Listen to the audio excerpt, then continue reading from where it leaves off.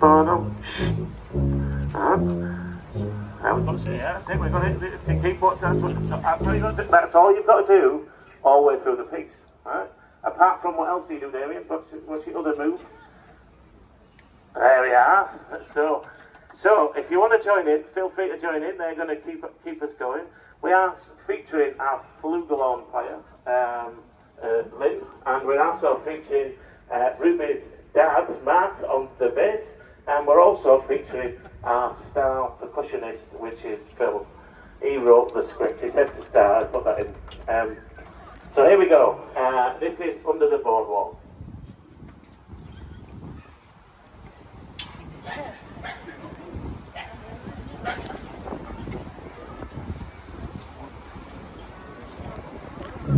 Thank